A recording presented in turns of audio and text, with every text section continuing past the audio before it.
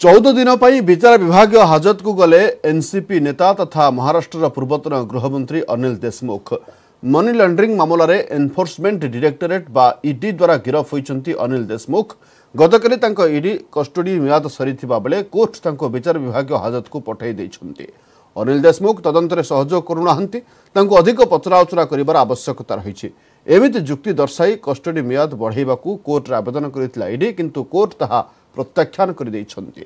ସତେଇଶଟି ଜାଲ ଫର୍ମ ଜରିଆରେ ଅନିଲ ଦେଶମୁଖ ଟଙ୍କା ହେରଫେର କରିଥିବା ଅଭିଯୋଗ ରହିଛି। ବର୍ତ୍ତମାନ କୋର୍ଟ ତାଙ୍କୁ ବିଚାର ବିଭାଗୀୟ ହାଜତକୁ ପଠାଇ ଦେଇଥିବା ବେଳେ ଜାମିନ ଆବେଦନ କରିବା ପାଇଁ ତାଙ୍କୁ ସୁଯୋଗ ମିଳିଛି।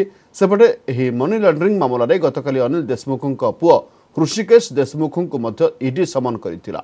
ତାଙ୍କୁ ଆହୁରି ସମନ କରାଯିବା ସମ୍ଭାବନା ରହିଛି। ଗୃହମନ୍ତ୍ରୀ ଥିବାବେଳେ ମୁମ୍ବାଇର ବିଭିନ୍ନ ମଦ ଦୋକାନ ଏବଂ ବାର୍ରୁ ମାସକୁ ଶହେ କୋଟି ଟଙ୍କା ବଟି ଆଦାୟ କରିବାକୁ ପୋଲିସକୁ ଅନିଲ ଦେଶମୁଖ ଭିତିରିଆ ନିର୍ଦ୍ଦେଶ ଦେଇଥିବା ଅଭିଯୋଗ ରହିଛି। ଅନିଲଙ୍କ ବିରୋଧରେ ଏହି ଗୁରୁତର ଅଭିଯୋଗ ଆଣିଥିବା ପୂର୍ବତନ ମୁମ୍ବାଇ ପୋଲିସ କମିଶନର ପରମବୀର ସିଂ ଗତ କିଛିଦିନ ହେବ ନିଖୋଜ ଅଛନ୍ତି। ପରମବୀର ସିଂଙ୍କ ବିରୋଧରେ ଆସିଥିବା ଦୁର୍ନୀତି ଏବଂ ଚାନ୍ଦା ଆଦାୟ ଅଭିଯୋଗର ତଦନ୍ତ ମୁମ୍ବାଇ ପୋଲିସ ଏବଂ ଆଣ୍ଟି କରପ୍ସନ ବ୍ୟୁରୋ କରୁଥିବା ବେଳେ ସେ ଅଣ୍ଡରଗ୍ରାଉଣ୍ଡ ହୋଇଯାଇଛନ୍ତି।